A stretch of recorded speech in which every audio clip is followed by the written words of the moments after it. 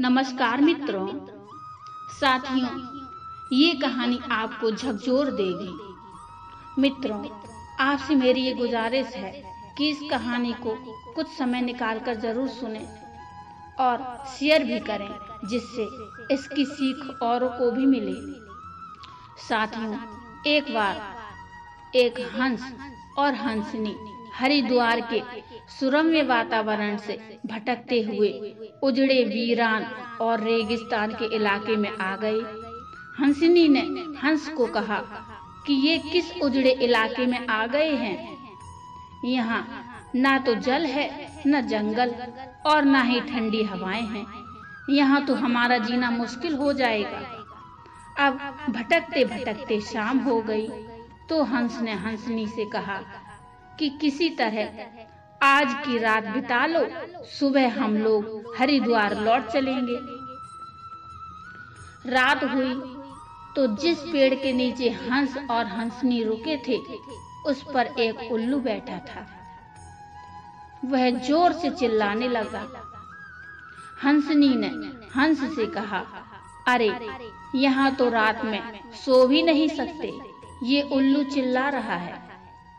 अब हंस ने फिर हंसनी को समझाया कि किसी तरह रात काट लो।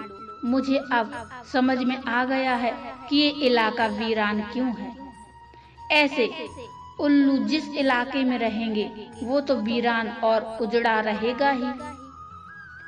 पेड़ पर बैठा उल्लू दोनों की बातें सुन रहा था। सुबह हुई, उल्लू नीचे आया और उसने कहा कि, हंस भाई मेरी वजह से आपको रात में तकलीफ़ हुई। मुझे माफ़ कर दो। हंस ने कहा, कोई बात नहीं भैया, आपका धन्यवाद। ये कहकर, जैसे ही हंस अपनी हंसनी को लेकर आगे बढ़ा, पीछे से उल्लू चिल्लाया, अरे हंस, मेरी पत्नी को लेकर कहाँ जा रहे हो? हंस चौंका, उसने कहा, आपकी पत्नी? अरे भाई, ये हंसनी है। मेरी पत्नी है। मेरे साथ आई थी। मेरे साथ जा रही है। उल्लू ने कहा, खामोश रहो। ये मेरी पत्नी है। दोनों के बीच विवाद शुरू हो गया और विवाद बढ़ गया। पूरे इलाके के लोग एकत्रित हो गए। कई गाँवों की जनता बैठी। पंचायत बुलाई गई। पंच लोग भी आ गए। बोले, भाई, किस बात का विवाद है? लोगों ने बताया कि उल्लू कह रहा है कि हंसनी उसकी पत्नी है और हंस कह रहा है कि हंसनी उसकी पत्नी है। लंबी बैठक और पंचायत के बाद पंच लोग किनारे हो गए और कहा कि, भाई, बात तो सही है कि हंसनी हंस की ही पत्नी है।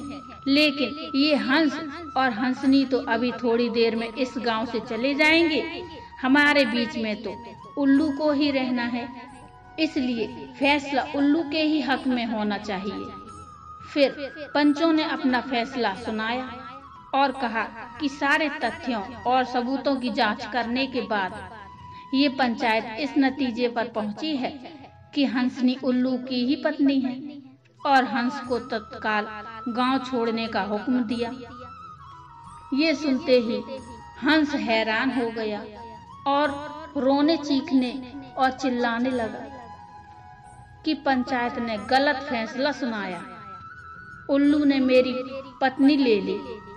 रोते चीखते जब वह आगे बढ़ने लगा तो उल्लू ने आवाज़ लगाई, हे मित्र, हंस, रुको। हंस ने रोते हुए कहा कि भैया, अब क्या करोगे? पत्नी तो तुमने ले ही ली, अब जान भी लोगे क्या? उल्लू ने कहा, नहीं मित्र, ये हंसनी आपकी पत्नी थी, और है, और रहेगी। लेकिन कल रात जब मैं चिल्ला रहा था तो आपने अपनी पत्नी से कहा था कि यह इलाका उजड़ा और वीरान इसीलिए है क्योंकि यहाँ उल्लू रहते हैं।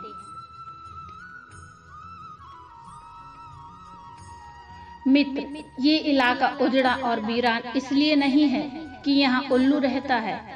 ये इलाका उजड़ा और वीरान इसलिए है क्योंकि यहाँ पर ऐसे पंच रहते हैं जो उल्लुओं के हक में फैसला सुनाते हैं। तो मित्रों, शायद इतने साल की आज़ादी के बाद भी हमारे देश की दुर्दशा का मूल कारण यही है कि हमने उम्मीदवार की योग्यता न देखते हुए हमेशा ये हमारी जाति का है, ये हमारी पार्टी का है। इसके आधार पर अपना फैसला उल्लुओं के ही पक्ष में सुनाया है। देश की बदहाली और दुर्दशा के लिए कहीं ना कहीं हम भी जिम्मेदार हैं।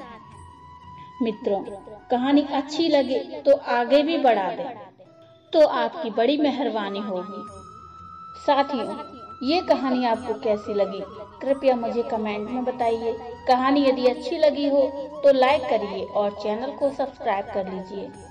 मिलते हैं फिर एक और नई कहानी और प्रेरणादायक कहानी लेकर। तब तक के लिए नमस्कार। जय श्री राम।